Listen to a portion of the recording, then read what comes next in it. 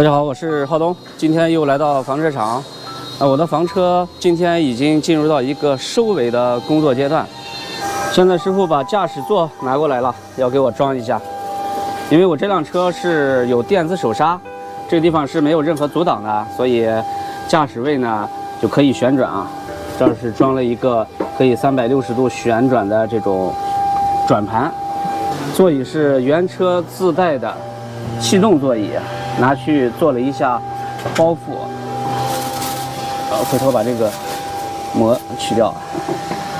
这位阿姨现在做的工作是外观美化工作，把师傅干活的时候打的不够平整的胶铲掉，然后再二次打一下胶，美化一下。现在看房车，不能说是装了啥装了啥，现在就要看啥还没有装。师傅现在给我装，呃，额头床上的一些电路、阅读灯，这边还没有装。然后就是冰箱，冰箱没有装，下边有一根管子没走，下边管子走了以后，把冰箱就可以放进去了。床板还没有装。来，给你送温了。啥水啊？茶。里边放的桂圆、枸杞。啊。好喝吧？嗯，昨天把我渴了呀。呃，呃，这不是有有开开水吗？啊，这有开水吗？有啊。我的。在那个那那边展厅那边有个开水炉。哦。没开水，那我们不会渴死啊。现在房车的正副驾驶座都装好了，咱们现在就把座椅旋转一下，看一下转过来的效果到底怎么样。转过来了，桌面移动一下。主要是看副驾驶能不能够得着，刚好嘛。副驾驶刚好能够着，最好就是让副驾驶，然后再这样，这个方向转一点。副驾驶它本来是带旋转盘的，但是呢，它那个旋转盘只能一百八十度转，就是转座位的时候只能是向外转，啊，向外转，不能在里边这样转过来。这这个是依维柯原厂带的。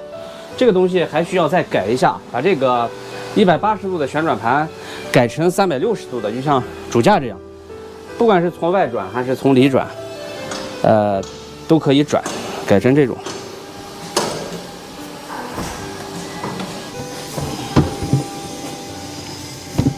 哎，我这边卡住了，往你那边来一点。等一下，等一下，我等一下。嗯，好。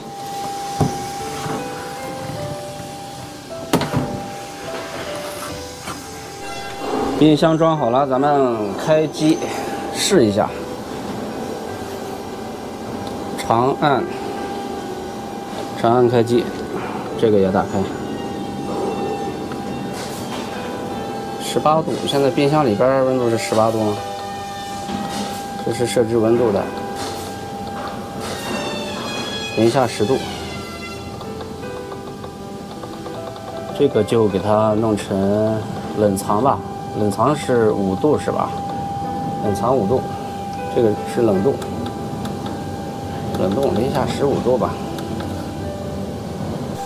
现在是一百七十七瓦的用电量，刚才开着灯差不多就是个七十几八十瓦，两个冰箱打开以后，增加了一百瓦的用电功率，还可以啊，一个五十瓦，用电功率还可以。现在还有一个小细节，咱们自己处理一下，就是茶几的这个边缘贴一点防防磨的这种绒布，它和这个板子之间会有接触，会有接触面。桌子的边缘这样贴一下就完美了。现在再找个剪刀，把两头剪一下，因为这个桌子的边它也是黑的。这个绒布也是黑的，贴上去毫无违和感呀。现在关一下窗户，要去做淋雨实验了。上面的窗户也关着，这个也要撕掉啊。哦，不撕掉的话，是夹在窗缝里，肯定是有影响的，水会从这个缝里渗进来。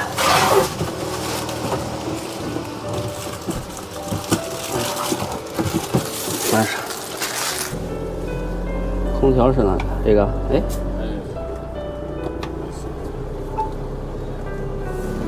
呃，这个气动座椅感觉舒服啊，上下一晃一晃的。一共是两次淋雨测试是吧？对。太阳能做好了，还有一次。对。上吗？啊，我们上来了。多长时间了？十分钟。四十分钟。哎，那我还待在外面啊。这淋雨时间也有点太长了，四十分钟不开窗户待在里边。淋雨实验也等于是洗车呀。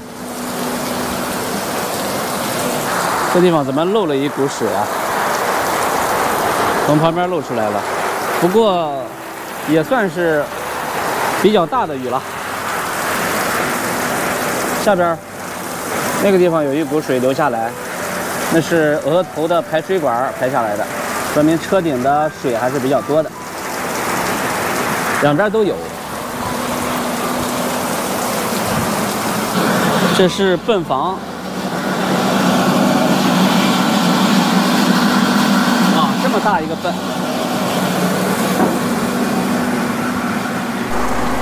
终于淋完了。我坐在外边，差点，差点都睡着了。倒出去吗？车顶上的水还在往下流。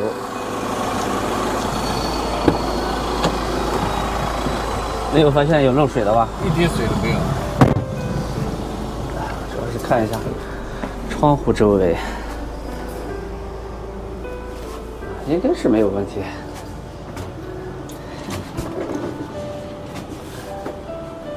没问题的。